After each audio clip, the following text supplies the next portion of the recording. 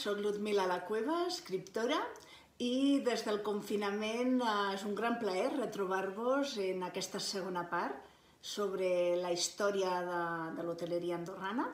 Seran unes breus pinzellades perquè necessitaríem molta més estona per fer un repàs a, a la història i a les vivències de, dels nostres pioners. A la primera part ja us vaig parlar de la fundació de, de l'hoteleria andorrana, de la mà dels hostals comunals, amb detalls sobre el seu funcionament. I, si recordeu, aquests van desaparèixer a principis del segle XX i ja van deixar pas amb una hoteleria molt més familiar. Comencem per Escaldes, que sempre ha tingut un avantatge amb la resta de, de parròquies d'Andorra i això ve de la mà de, de l'aigua termal. Però no pensem que la història de, de l'hoteleria escaldenca comença al segle XIX, amb la puixança de, del turisme termal. Ens hem de traslladar cap al segle XVI i més precisament al 1593, on en Nicolau Muntanya lloga l'hostal La Fleca i la Taverna. Possiblement eh, l'hostal ja existia eh, en aquest, més abans d'aquesta data, però la manca de fons documental no ens deixa anar molt més enllà.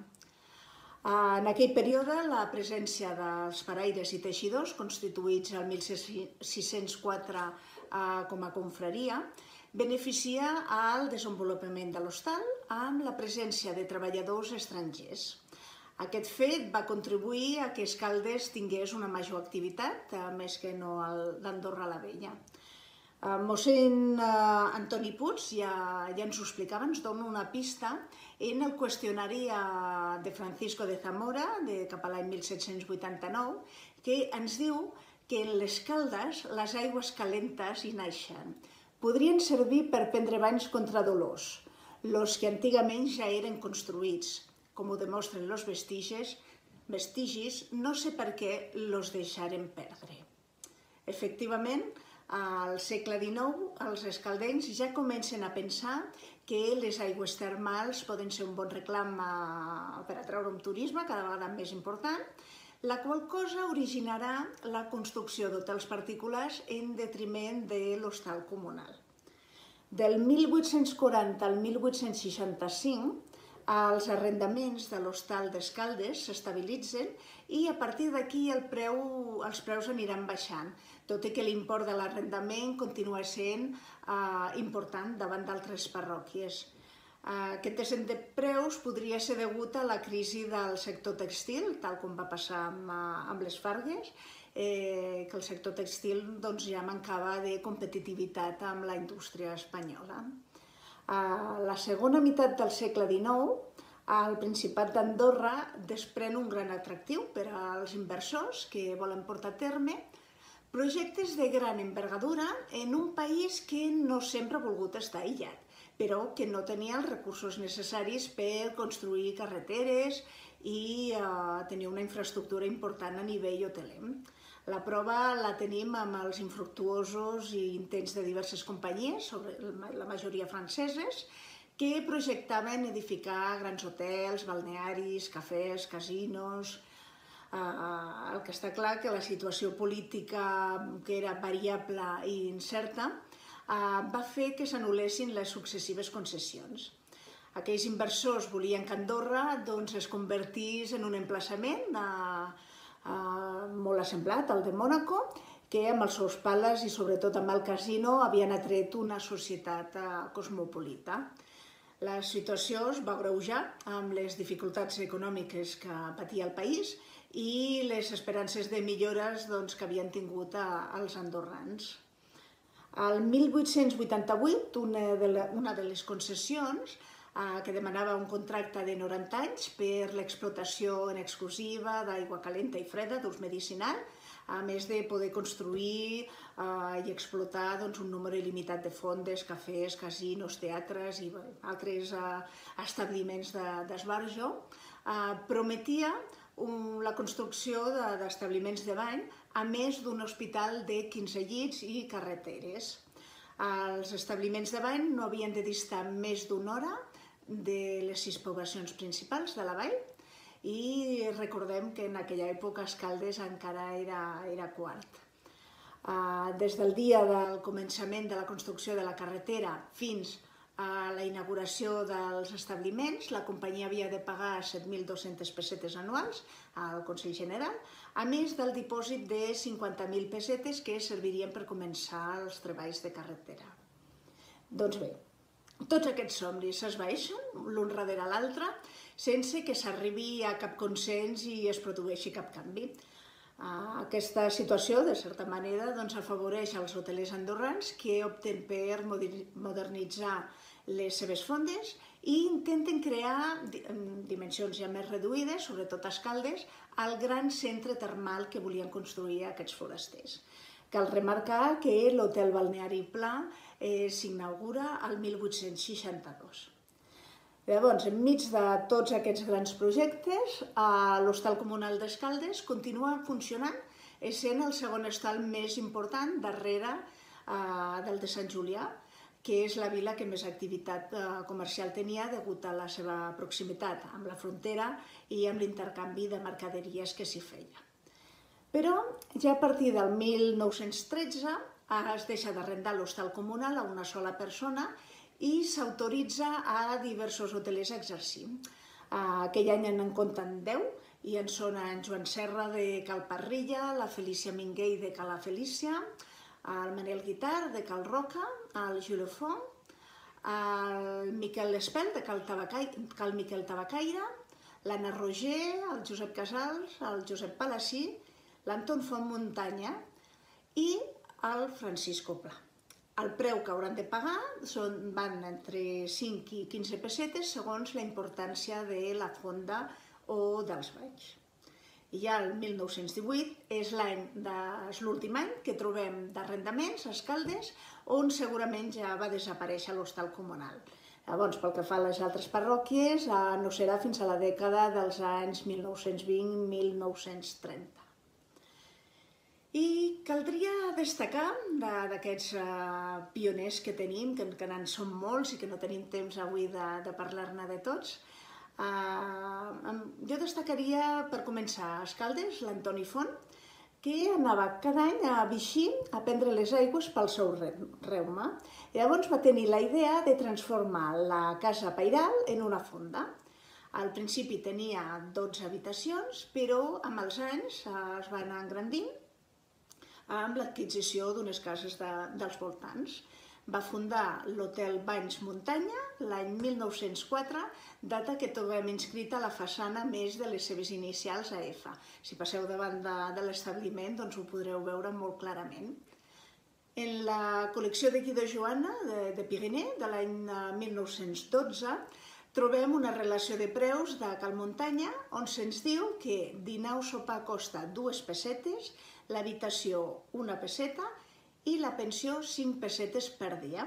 També anuncien que es lloguen cavalls i mules per fer excursions i eh, en aquella època, pel que fa als banys termals, hi havia també quatre banyeres de ferro colat i una dutxa. Anem ara, si us sembla, cap en camp. Eh, és difícil determinar la data a la qual va començar la família de Caloros a portar la fonda, ja que l'aiguat de 1937 eh, es van portar doncs, els documents personals i bona part també dels arxius de la parròquia. Però ja sabem que en Josep Mas Baixenc eh, ja era talent l'any 1886 i que també feia de traginer. Anys més tard serà el seu fill, Benito, eh, que va començar a fer de mestre per finalment agafar les regnes de, del negoci familiar i va endegar la construcció de l'Hotel Oros l'any 1900.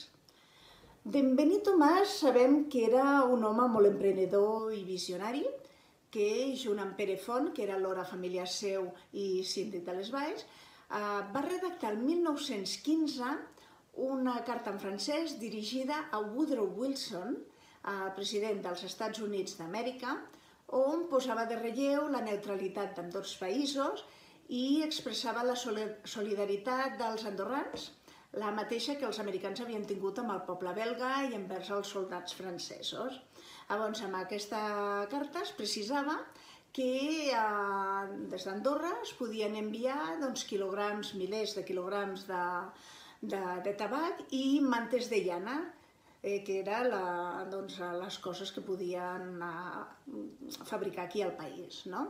Tanmateix es posava a disposició dels turistes americans que visitessin a Andorra i la família Mas encara disposa d'un esborrany d'aquest paper de carta que du a més a més a l'encapçalament l'anagrama de l'hotel i Cafè Oros.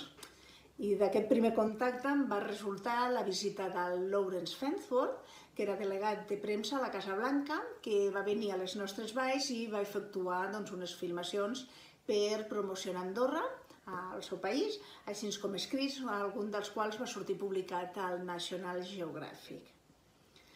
Andorra la Vella. Bé, Andorra la Vella eh, tenim el Joan Aràjol, la maestre, el famós eh, Cisco de Sants, eh, que és un dels personatges més coneguts d'Andorra, que era alhora traginer, hostaler i guia.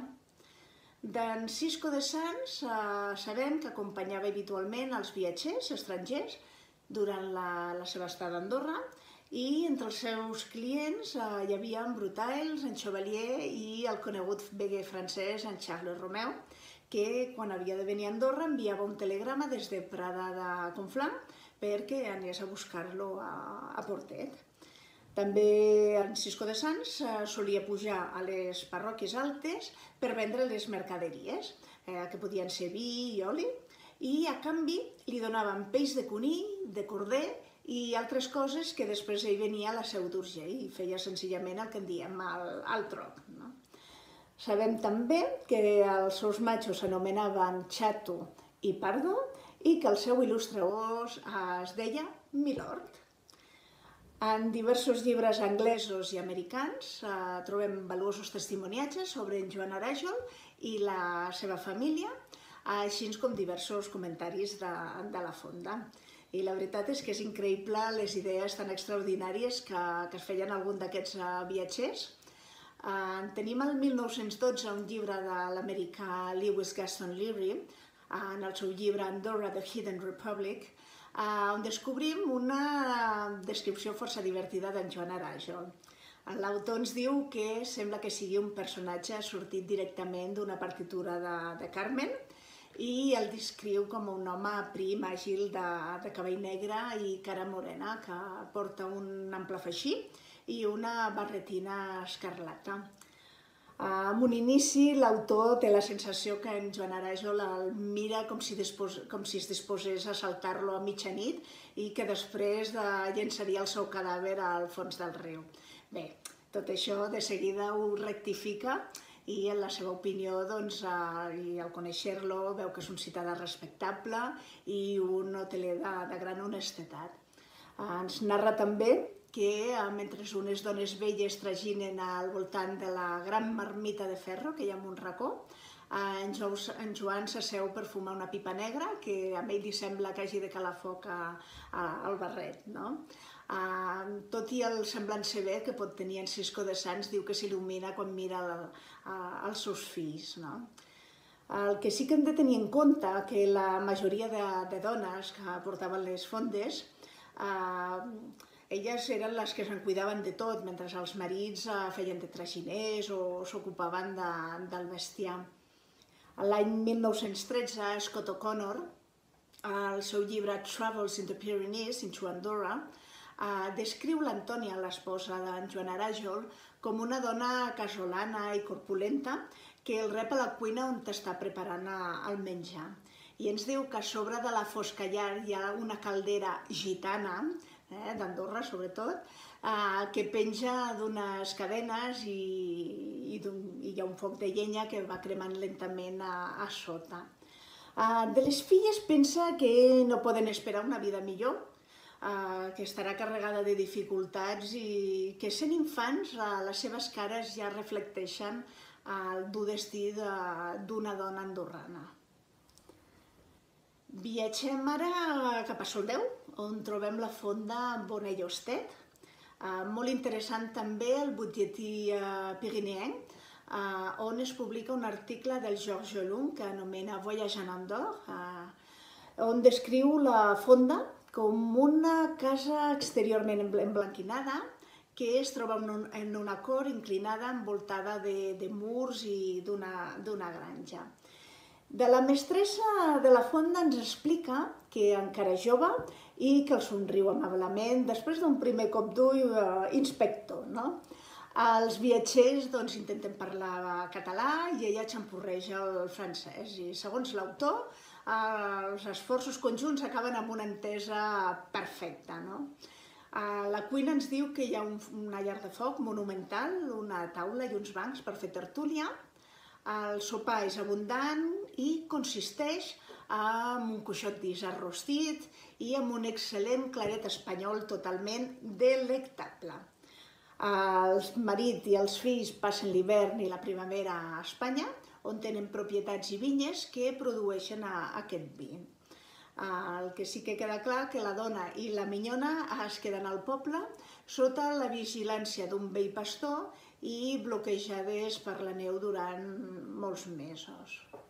En Lawrence Fensworth, que ja he nomenat quan he parlat de, de Caloros, en un article que va sortir publicat al National Geographic l'any 1933, també ens parla d'aquesta fonda, ens comenta que l'habitació més gran és el menjador de segona classe. Eh, pels que no ho sabeu, doncs a Andorra els hotels tenien eh, menjadors de primera i segona classe. Els de segona classe sent reservats per als pastors i els alpinistes. Ells, com a clients, estan al de primera classe. I el que va treure amb Lawrence Fensworth va ser la cuina, on va veure que d'unes clavilles de fusta hi penjaven els pernils, llonganisses i trossos de bacallà, no? Mentre que en d'altres claus a la paret doncs, ho feien doncs, unes olles ben lluentes i cassoles i, i bé, ho va trobar molt, molt, molt típic. Uh, mentre ell seia en un banc, la mare Bonell, eh, Mother Bonell, com ell l'anomena, uh, prepara el sopar i en Jaume Bonell mentre eh, llegeix el, el diari. Eh, ens diu que conversant amb en Jaume s'assabenta de que era un notable de, del país i que les terres i els ramats que, que tenia el feien un home força, força ric, no? I que com a patriarca observava les tradicions i conservava intactes doncs, les posicions de la casa per poder-les transmetre als seus successors. De la mestressa ens la descriu amb unes galtes ben vermelles eh, i d'un mocador eh, gris al cap. I per sopar van tenir truita, bacallà, isart i un deliciós pernil fumat andorrà. Després ens diu que eh, en Jaume Bonell, la seva dona i els fills amb dos o tres clients de segona classe i en, i en Fentworth es reuneixen una altra vegada a la cuina al, al voltant de, del foc. Ens anem eh, més endavant amb el temps, eh, sobretot durant la Segona Guerra Mundial, on a les nostres muntanyes van veure passar moltes persones que fugien de les atrocitats de la guerra. A Cal Calbó, de Soldeu també, havien anat a buscar molta gent a la Vall d'Incles i se n'ocupaven fins que estiguessin bé per emprendre de nou el camí cap a Espanya. Sovint aquestes persones no tenien diners per pagar i la família Areny mostrava la seva humanitat i els, i els acollia, els alimentava i ja els deia, ja pagareu, sabent ben, molt bé que, que segurament no es tornarien a veure mai més. No? Era una situació força típica, però en uns moments tan durs com, com aquests, doncs, eh, els sentiments s'imposaven. Uh, Cal Calbó va acollir molta gent i d'històries en podríem explicar un neu, però a mi m'agradaria explicar-vos en una, i és que en, en aquell període va arribar un alemany que va estar molt malalt i es va estar vuit dies a Cal Calbó. L'home tenia una maleta, no? i al moment de marxar li va demanar al padrí, en Josep Arenya Calbó, de guardar-li una maleta. I aquest la hi va guardar sense cap problema i la va amagar a la menjadora de la cor. Doncs bé, al cap d'uns cinc anys van venir uns familiars d'aquell home a recollir aquesta famosa maleta i sorpresos van descobrir que estava plena d'or. A veure, una vegada més veiem que aquesta família doncs, va fer prova d'honestetat i, i aquest no, no és l'únic cas. En el mateix període eh, tenim a la Massana, i és inevitable anomenar l'Hostal Palanques, El seu propietari era en Francisco Molner Roger, que va considerar que la fonda familiar treballaria més si estigués a vora la carretera. I l'any 1935 va inaugurar l'hostal amb unes 20 cambres. Un hostal on durant la Segona Guerra Mundial es va ajudar molta gent que, que fugia del, del nazisme. A l'hostal hi havia un delegat anglès que s'ocupava de forma permanent bé, de, fer, de, de posar en marxa doncs, una, una xarxa juntament amb en Conejos i amb l'Antoni Forner, que més endavant és a casaria amb la filla del propietari, la, la Joana Molner. Doncs bé, aquestes persones ajudaven a passar els refugiats que venien pel port de Siguer i baixaven de nit cap a Llors i al Vilaró, on ja començava la, la carretera. I una vegada en Conejos els va advertir que potser s'haurien d'armar, perquè potser algun dia hi hauria algun problema i no, no li van fer massa cas en aquell moment. Doncs bé, una nit de setembre de 1943, tornant cap a la Massana, amb cinc polonesos, van veure dos cotxes a Renault amb matrícula francesa aparcats a la porta de l'hostal.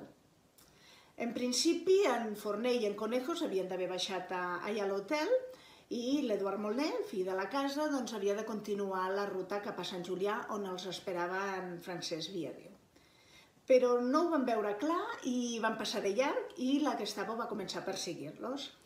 Van arribar a la Raureda, a la carretera de Sispony, els, els alemanys van començar a tirar trets per fer-los parar i en Fornell i en Conejos van escapar, però l'Eduard i els polonesos van ser agafats i els van portar cap a Tolosa.